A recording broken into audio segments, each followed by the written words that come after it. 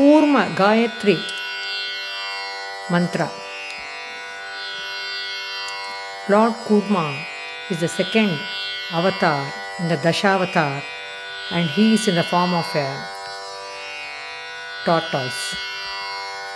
Chanting this Kurma Gayatri mantra will help us to have a very happy family life.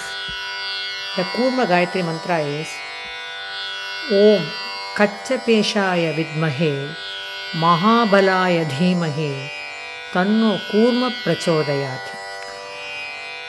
ॐ कच्चपेशाय विद्महे महाबलाय धीमहि तन्नो कूर्मप्रचोदयात्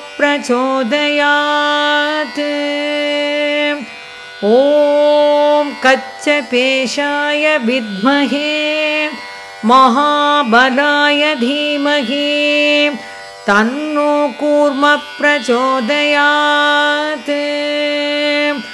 ॐ कच्चपेशाय विद्महे महाबलाय धीमहि तन्नो कूर्मप्रचोदयात्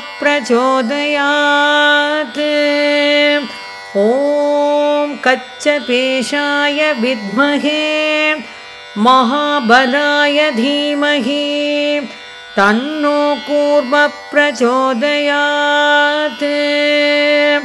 ॐ कच्चपेशाय विद्महे महाबलाय धीमहि तन्नो कूर्मप्रचोदयात्। Divine Kurma Gayatri mantra for having a happy family life.